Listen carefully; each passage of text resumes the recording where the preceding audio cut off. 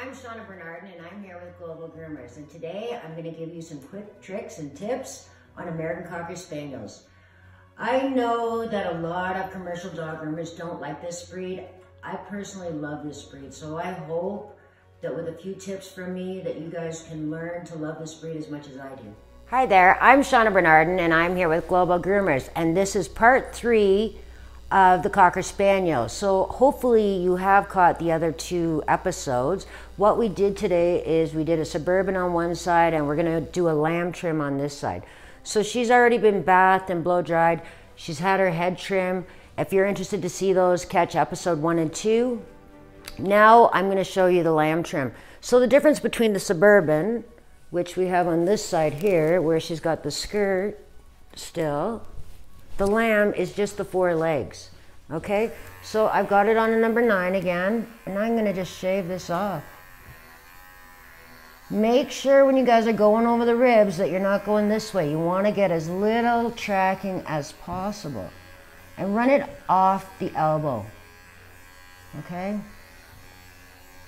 This is a great haircut for the people that don't have time to do all the brushing and the maintenance. You can do this. They can still look super cute and still be maintainable. I'm going to go ahead and get that shaved off. Now we have the pattern clipped in with a number nine blade for the lamb. So I'm going to go ahead and I'm going to take the green attachment down her legs.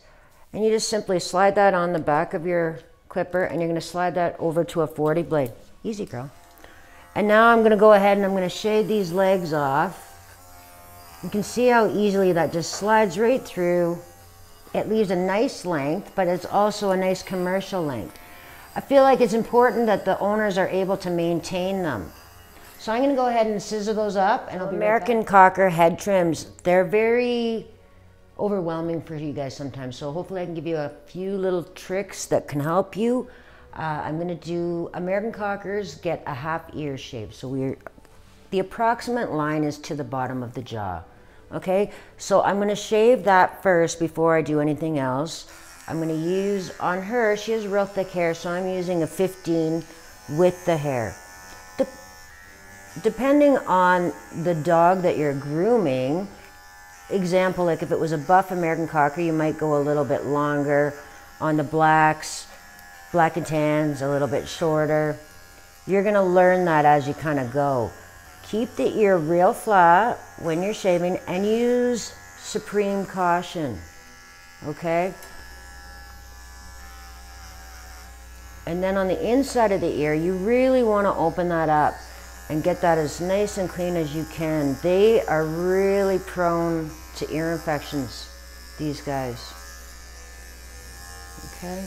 So once you have the ears done, when you guys are in school, most of you are taught to take a 10 blade real hard. I just want to make some suggestions that maybe you could change it up a little bit. American Cockers are supposed to have a nice plush little mush. So what I've decided that I've done over the years, I'm going to use a number 10 blade. And I'm going to pull the ear straight back. I want to keep the, the skin kind of tight. And I'm just going to clean right off the cheek I'm going to just take that straight down, but I'm not taking that over her mush right now. Easy girl. Now, see how she's a bit sensitive with the clipper? Slow down right then and there. Just stop and just take that clipper and rub it on her ear and just really be quiet. And she's like accepting of it. Feel like it's really important for you guys to take your time with cockers.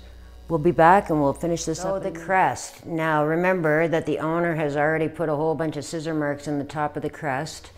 So we got to fix that.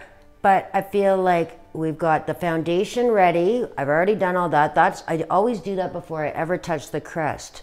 So you want to imagine that the crest is in like a half moon coming to the back of the back skull, okay? Good girl. And now remember, she has a few head issues, so I always go real nice and slow with her. This little number four attachment is really, really handy. Guys were in grooming school, everybody taught you to take a 10 blade backwards and the crest stands straight up. You want to think of the crest as being smooth and going with the top of the skull. So all I'm going to do is I'm just going to tip her head down a little and I'm going to blend those in, okay? And then I'm just gonna take this up the side and just how it fades off the side of her crest there. And then I'm gonna take it again flat. I'm always working in a little semicircle.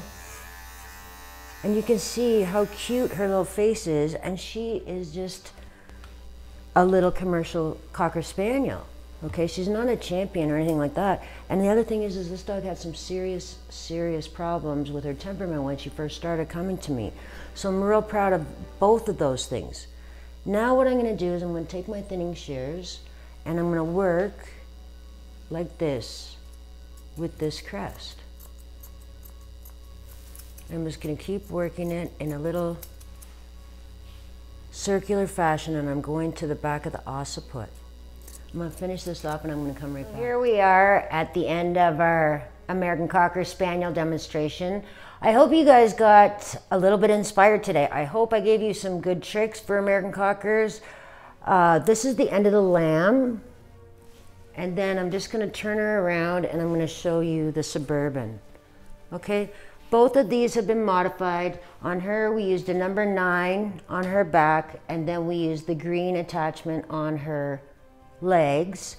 Uh, if you guys are enjoying these, please subscribe and share. One extra little pro tip that I want to give you guys uh, she has really bad skin, and just before I send them out, I just take a little bit of that Wahl de Notte right here, and I just this is actually a horse brush that we make with wool, but it's real soft bristles. So I just spray it down a little bit, and I just wipe her back off, and then if she has any sort of dandruff or anything, wipes right off. I really hope you guys enjoyed this. I had a blast doing it. I really, really hope you guys start to enjoy American Cockers.